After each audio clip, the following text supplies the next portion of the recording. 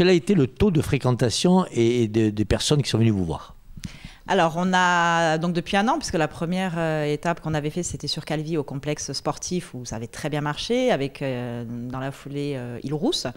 Et depuis, on tourne un petit peu dans les villages. Donc, on a fait Corbar, on a fait Loup, mais aujourd'hui, on est à Belgodère.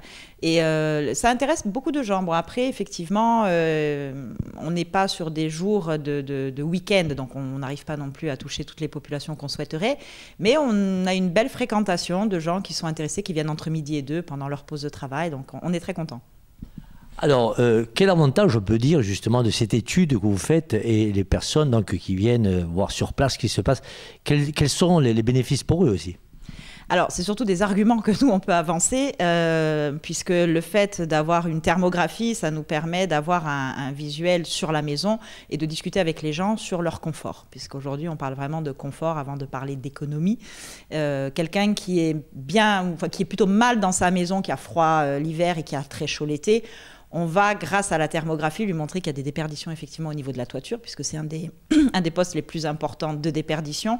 Et ça leur permet euh, de, prendre conscience, en fait, que euh, effectivement, il y a une faiblesse au niveau de leur toiture et que du coup, de le voir visuellement sur l'écran, euh, ça, leur fait prendre conscience qu'il faut faire des travaux. Et généralement, ils enclenchent des travaux dans la foulée.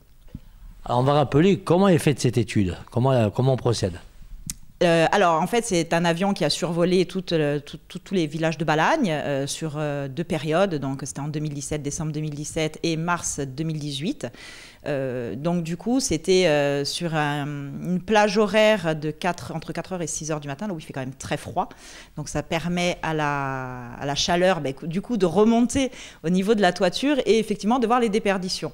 Euh, du coup, ça nous a nous permis de récupérer donc une thermocarte comme celle-ci, où on voit effectivement toutes les, ben, toutes les déperditions ou non d'ailleurs des maisons. Euh, et qui nous permettent d'argumenter auprès des particuliers sur l'état de leur toiture, puisqu'on ne voit que la toiture, on ne voit pas les menuiseries. Qu'on soit bien d'accord, parce qu'il y a beaucoup de gens qui nous disent mais moi je voudrais voir les murs, c'est un survol, donc on est vraiment sur de la toiture. Moi, en tant que conseillère euh, Espace Info Énergie, donc, euh, on a la formation pour faire du conseil sur l'isolation, mais également sur le chauffage. On part en priorité sur l'isolation, puisque souvent les gens prennent un petit peu le problème à l'envers en disant j'ai froid, je change de chauffage. Sauf que ce n'est pas la priorité des travaux. La, la priorité, c'est d'isoler sa toiture et ensuite d'isoler ses murs et ses menuiseries. Et ensuite, on arrive au chauffage. Mais euh, donc, du coup, nous, ça nous permet aussi derrière de dire bon, voilà, vous pouvez effectivement euh, lancer des travaux d'isolation de toiture. Et dans un second temps, vous pourrez mettre un poêle à bois, un poêle à granulés, mettre une pompe à chaleur, euh, voilà, tout, tout, autre système de chauffage. Mais ça ne sert strictement à rien de changer son chauffage si on a une maison qui est totalement déperditive.